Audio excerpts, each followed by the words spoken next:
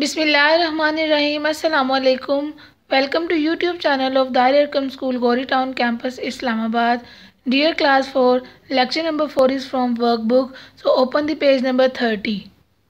First of all, dear students, write down the date and day. Date is March 31st, 2021 and day is Wednesday. Okay, let's continue this lecture. We were learning about parts of speech. here is the fourth part of speech first one is noun second one is pronoun third one is verb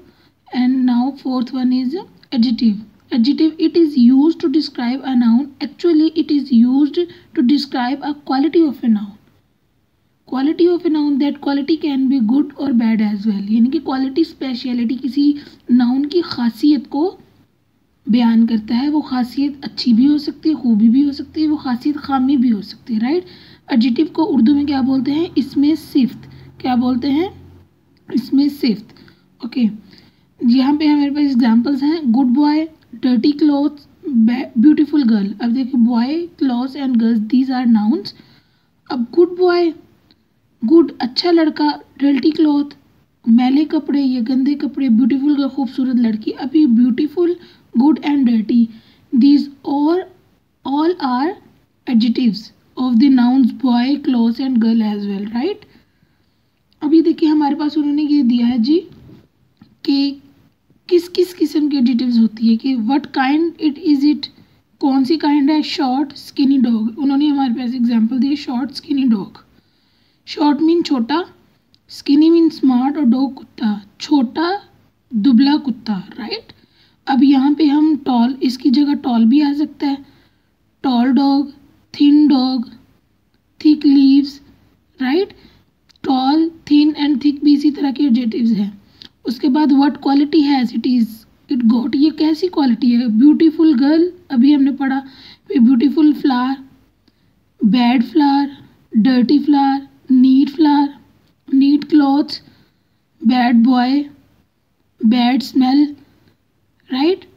dirty way इस तरह हम कर सकते हैं which one it is old new old white house old की जगह young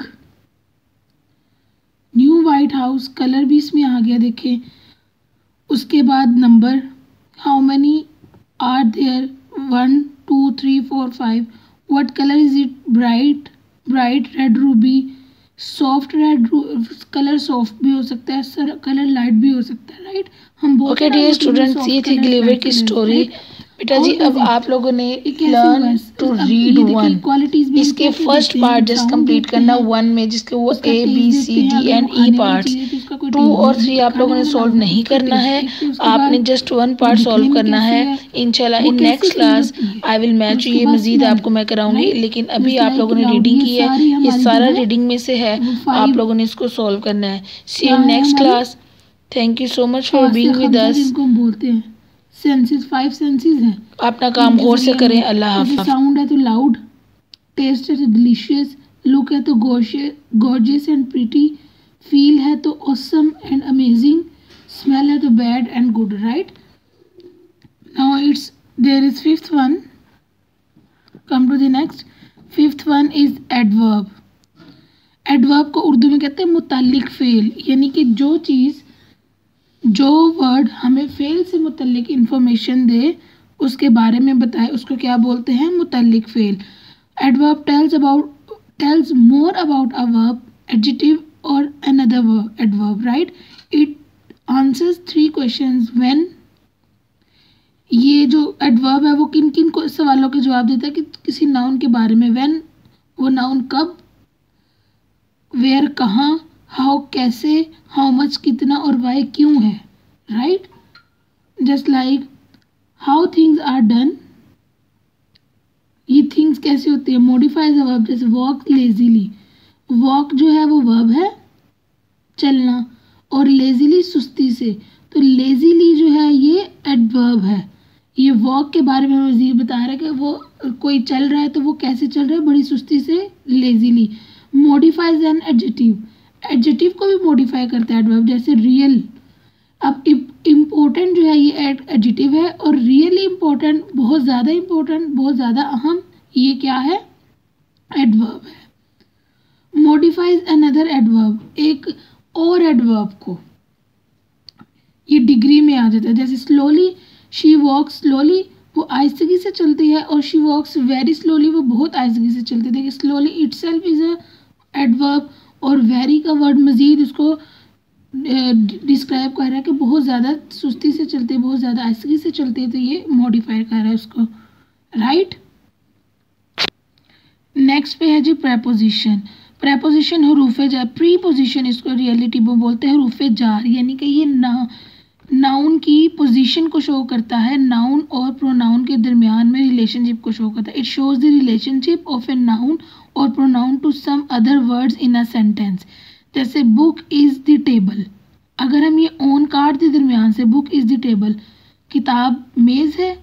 ये तो कोई सेंटेंस ही नहीं सेंस ही नहीं बन रहा book is on the table किताब जो है वो किस पे है मेज़ पर है तो ये ऑन क्या होगी जी प्रीपोजिशन जो बुक और टेबल के दरमियान शो कर रहा है रिलेशनशिप को cat is in the basket cat is in है बास्केट टोकरी के right the last one is conjunction हरूफ रब्त हरफ रब्त यानी कि रिले इसको सेंटेंसेस को वर्ड्स को आपस में जोड़ता है it is use to join words sentences together she is rich not happy she is rich but not happy right but का वर्ड इन दोनों सेंटेंसेस को जोड़ा है I can not play I am ill अब ये दो सेंटेंसेस हैं लेकिन इनको बिकॉज का लफ्ज़ जोड़ रहा है बिकॉज ये क्या है प्रपोज कंजक्शन है राइट यहाँ पे मोर उन्होंने कंजक्शन दिए एंड बट सो और बिकॉज और इन ओन ओवर ने राइट आप लोगों ने इस पूरे लेसन को अच्छी तरह लर्न करना है इनशाला I will listen this lesson in class Zoom thank you so much for listening me खुदा हाफिज़